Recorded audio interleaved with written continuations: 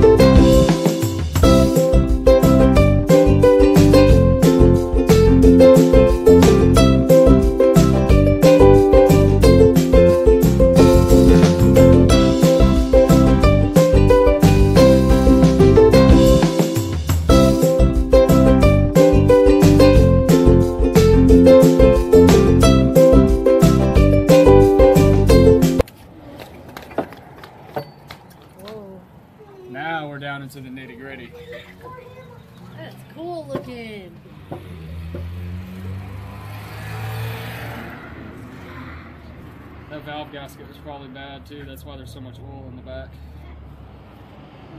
That's cool. You see your spark plugs are down in these. So is this being replaced? Nope. This is the motor. This is all. This is Oh. the head. From here to right here, you see where that seal's right there? Yeah. That's the head. Oh. So if we were to replace it, which Travis was right, you got to take the cams out to get to the head bolts. This is your intake cam here. It actually looks really good, man. Yeah. No wear, tear. Rollers still look really good. Springs still look really good. Whoa! This motor may hold up better than what I thought. It's golden? No, you get to say that. Excuse me. So we got the valve cover off.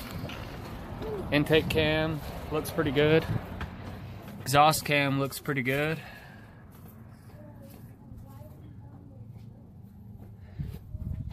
You can see down in our intake ports. For 250,000 miles, I'd say she looks still pretty good down here. Alright guys, so that's about as far as we got for today. Uh, we definitely ran out of time, but we're hoping a week from today, so next Monday, we're hoping that we can go ahead and order the maybe exhaust header, then go ahead and get the turbo ordered, few other things, we'll see what we can do, but I'll go ahead and I'll give the details of those in the next video, so if you liked it, go ahead and subscribe and like, and we'll see you next time.